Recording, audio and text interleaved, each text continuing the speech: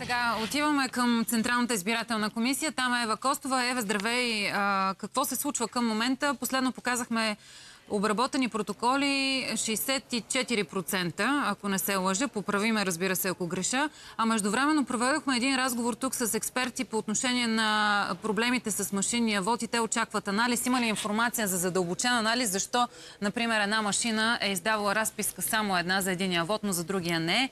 Проблема в хартията ли е или някъде другаде? Не съм убедена, че все още имаме тези отговори като журналисти, но предполагам, че задавате тези въпроси.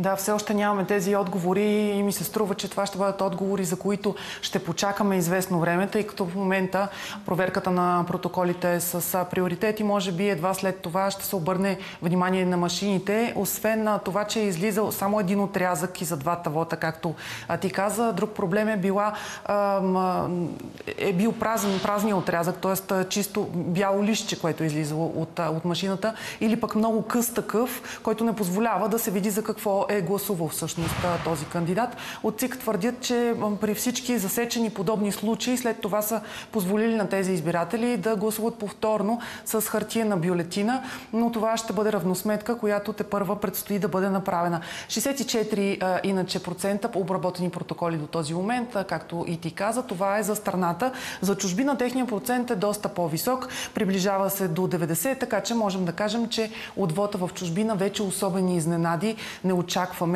А, обаче Бавят се, все още се бавят. Тук никой не е пристигнал до този момент от всички 31 районни избирателни комисии. Припомням, че редът е те да дойдат тук.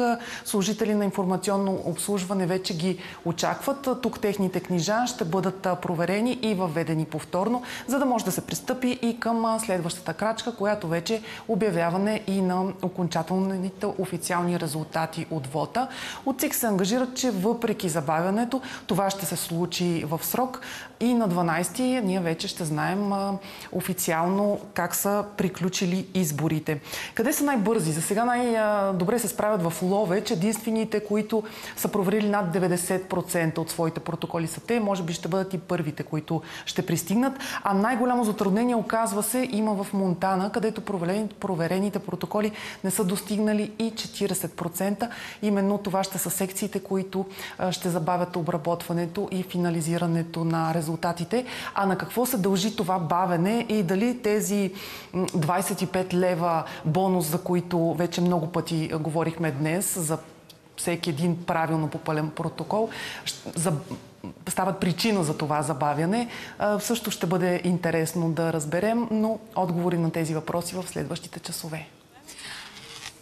Евче, благодаря ти. Държим връзка с теб, въпреки че гледам, че 11.23. По-скоро ще те гледаме в следващите емисии новини на Нова и на Нова Нюс през целия ден.